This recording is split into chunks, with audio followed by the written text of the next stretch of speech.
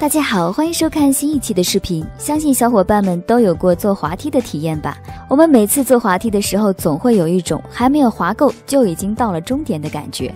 为此，小编不禁感慨：如果滑梯的长度能再加长点就好了。今天小编就带大家了解一下世界上最长的水上滑梯。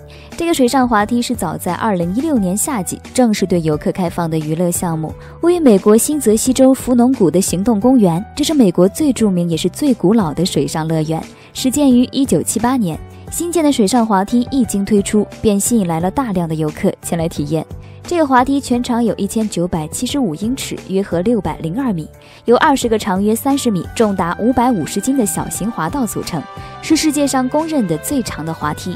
一经建成，便得到了吉尼斯世界纪录的申请认证。